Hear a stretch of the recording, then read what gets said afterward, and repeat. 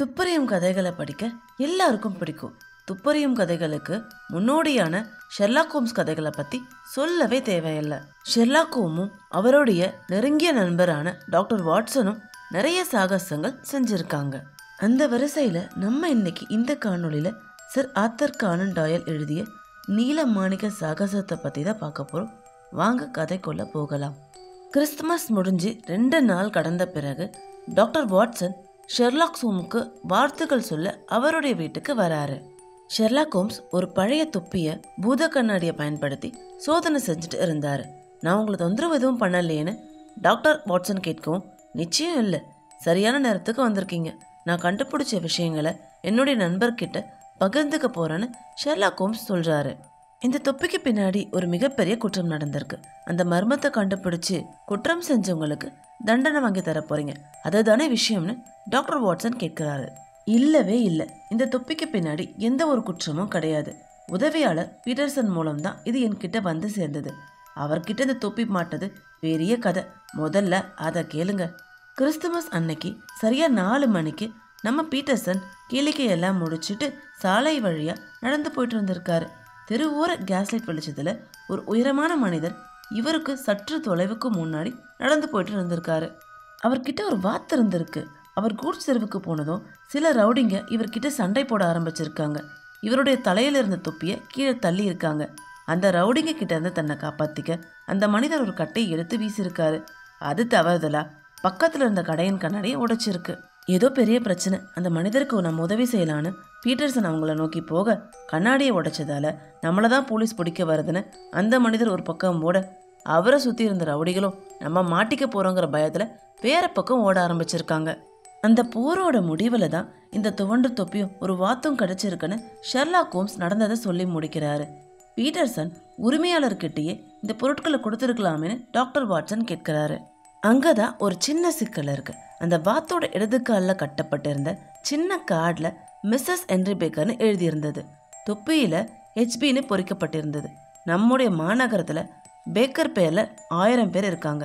Henry Baker பேரில் நூற்றுக்கும் மேம்பட்டவங்க இருக்காங்க. அதனால் வாத்தையும் தொப்பியும் சரியான நபர்கிட்ட போய் சேர்க்கறதுக்கு சிரமமாக இருந்தது.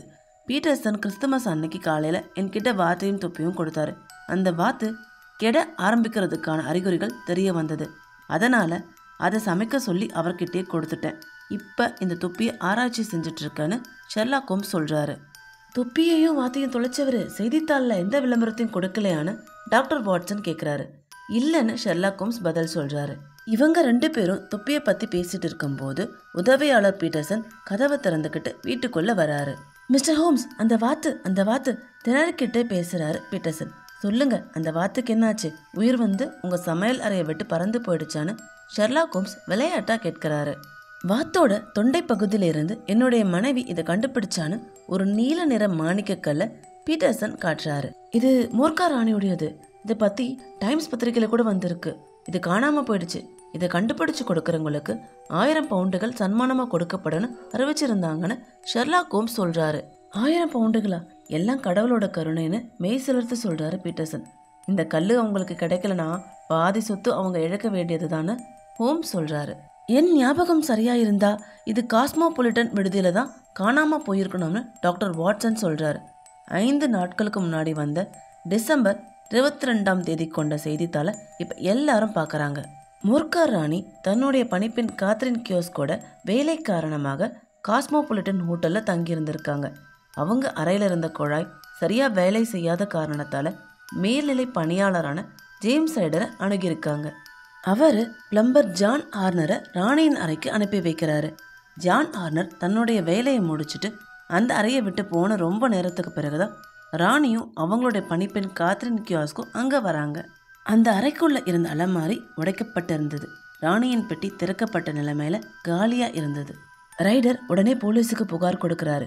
ஹார்னர் அன்னைக்கு சாயந்தரமே கைது செய்யப்படுறாரு.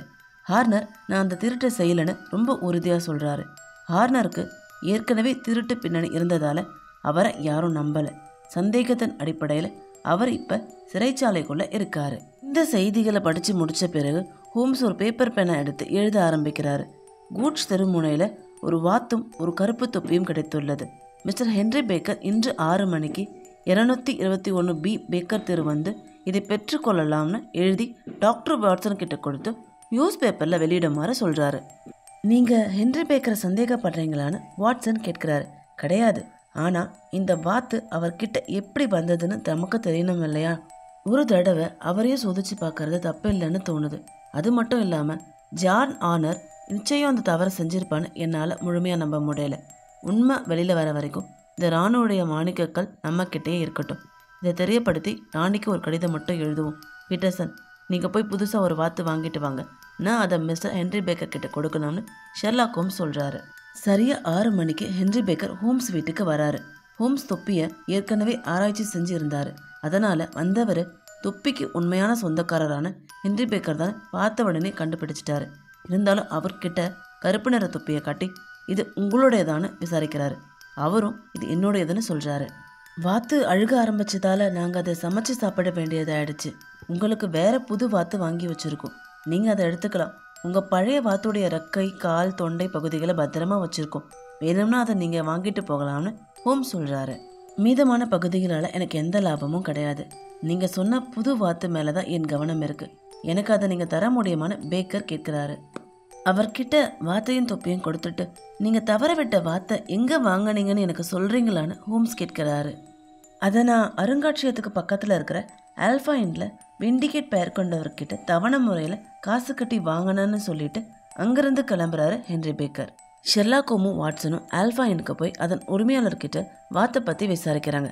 அதுக்கு அவர் நான் கோவென் கார்டன் பகுதியில் இருக்கிற ரேக்கன் கிரிச் என்பவர்கிட்ட தான் இருபத்தி நாலு வாத்துகள் வாங்கினேன். அதில் தான் கிறிஸ்துமஸ் தள்ளுபடியாக ஹென்ரி பேக்கருக்கு ஒரு வாத்து கொடுத்தேன்னு சொல்கிறாரு இப்போ ஷெர்லாக்கோமும் வாட்சனும் கோவன் கார்டன் மார்க்கெட்டுக்கு போகிறாங்க அங்கே மிஸ்டர் பிரேக்கன்கிரிட்ஜை கண்டுபிடிச்சி ஆல்ஃபா எனக்கு கொடுக்கப்பட்ட வார்த்தைகளை பற்றி விசாரிக்கிறாங்க. அதுக்கு அவர் ரொம்பவே கோவப்பட்டு அதெல்லாம் என்னால் சொல்ல முடியாது. ஒரு நல்ல பொருளை நல்ல விலைக்கு விற்ற அதை வாங்கி அனுபவிக்கணும். அதை விட்டுட்டு அந்த பறவைகளை எங்கே யாருக்கு விற்ற அந்த பறவைகளை எங்கே விற்றன்னு சொன்னால் உனக்கு பணம் தரேன்னு நச்சரித்தா என்ன போல தான் உங்களுக்கு கோவம் வரும்னு அவர் பயங்கரமாக கத்துறாரு. ஷெர்லாக் ஹோம்ஸ் கொஞ்சம் தன்மையாகவும் தந்திரமாகவும் விசாரிக்கவும் அந்த கடைக்காரர் விவரத்தை சொல்ல ஆரம்பிக்கிறாரு. அந்த வார்த்தைகளை நான் டிசம்பர் இருபத்தி ரெண்டாம் தேதி மிஸ்ஸஸ் ஒக்சார் கிட்ட தான் வாங்கினேன்னு அவர் சொல்கிறாரு ஷெர்லாக் ஹோம்ஸும் வாட்சனும் அங்கிருந்து விலகி வந்து அடுத்து என்ன பண்ணலாம்னு யோசிக்கும்போது அந்த கடைக்காரர் யார்கிட்டயோ சண்டை போடுற சத்தம் இவங்களுக்கு கேட்குது. உங்கள் வாத்து கதைகளை கேட்டு கேட்டு எனக்கு சலிச்சு போயிடுச்சு. இப்படி என்னை தொந்தரவு பண்ணால் காணாமல் போயிடுவீங்க நான் சபிச்சிருவேன். போய் அந்த மிஸ்ஸஸ் ஒக்சாட் பெண்மணி கிட்டேயே வாத்துகளை பற்றி கேட்டுக்கோன்னு வந்தவர்கிட்ட பயங்கரமாக கத்தி அனுப்புகிறாரு நடந்ததை பார்த்துட்டு இருந்த வாட்சனும் ஹோமும் அந்த புது மனிதரை நோக்கி வேகமாக போகிறாங்க அந்த புது மனிதர் மீது கையை வைக்கிறார் ஹோம்ஸ். அவர் திடுக்கிட்டு திரும்பி பார்க்குறாரு. யார் நீ? உனக்கு என்ன வேணும்னு நடுங்கிய குரலில் அவர் கேட்கிறாரு. மன்னிச்சிடுங்க நீங்கள் அந்த வாத்து கடைக்காரனிடம் பேசினதை நான் கேட்டுட்டு இருந்தேன். என்னால் உங்களுக்கு உதவ முடியும்னு ஹோம்ஸ் சொல்கிறாரு உங்களுக்கு எப்படி நடந்த விஷயங்கள் தெரியும்னு அந்த மனிதர் கேட்கிறாரு. என்னுடைய பெயர் ஷெர்லா ஹோம்ஸ். மற்றவங்களுக்கு தெரியாததை தெரிஞ்சுக்கிறது தான் என்னுடைய தொழில். மிஸ்ஸஸ் ஒக்சாக் அந்த கடைக்காரர்கிட்ட விட்டுற பறவைகளில் ஒரு பறவையை நீங்கள் தேடுறீங்க. அது எங்கே இருக்குன்னு எனக்கு தெரியும்னு ஹோம்ஸ் சொல்லவும் அந்த மனிதருக்கு வேறு வழி இல்லாமல் ஹோம்ஸ் கூட அவருடைய வீட்டுக்கு வராரு. வீட்டுக்கு போனதும் தன்னை பற்றின விவரங்களை அந்த மனிதர் சொல்ல ஆரம்பிக்கிறாரு. என்னுடைய பேர் ஜான் ராபின்சன். இதை சொன்ன உடனேயே ஹோம்ஸ் அவரை பார்த்து அட உங்கள் உண்மையான பேரை சொல்லுங்கள் என்கிட்ட இந்த விளையாட்டெல்லாம் செல்லுபடி ஆகாதுன்னு சொல்கிறாரு அந்த மனிதருடைய முகம் சிவந்து போடுது. என்னுடைய உண்மையான பெயர் ஜேம்ஸ் ரைடன் அவர் சொல்கிறாரு நீங்கள் ஹோட்டல் காஸ்மாபாலிட்டனோட மேனேஜர் தானேன்னு ஹோம்ஸ் கேட்குறாரு. ஆமான்னு அவர் ஒத்துக்கிறாரு. நீங்கள் ஒரு பறவையை தேடுறீங்க. அது இங்கே தான் இருந்தது. அதுக்குள்ளே இருந்த நீல நிற மாணிக்கக்கள் இதுதான் ஹோம்ஸ் அந்த மாணிக்கத்தை ரைடர்கிட்ட காட்டுறாரு. அதை பார்த்து நடுங்கி போன ரைடருக்கு என்ன பதில் சொல்கிறதுன்னு தெரியல. உன்னோட ஆட்டம் முடிஞ்சிருச்சு. இந்த திருட்டு சம்பந்தமான ஆதாரங்கள் எல்லாமே எங்கள் கிட்ட இருக்கு. நீ சொல்ல வேண்டிய ஒரு சில விஷயங்களை தவிர எல்லாமே எங்களுக்கு தெரியும். உண்மையாக சொல்லு. ராணி மோர்காரின் நகையை பற்றி முதன் முதலாக உனக்கு எப்படி தெரிய வந்ததுன்னு ஹோம்ஸ் கேட்கிறாரு.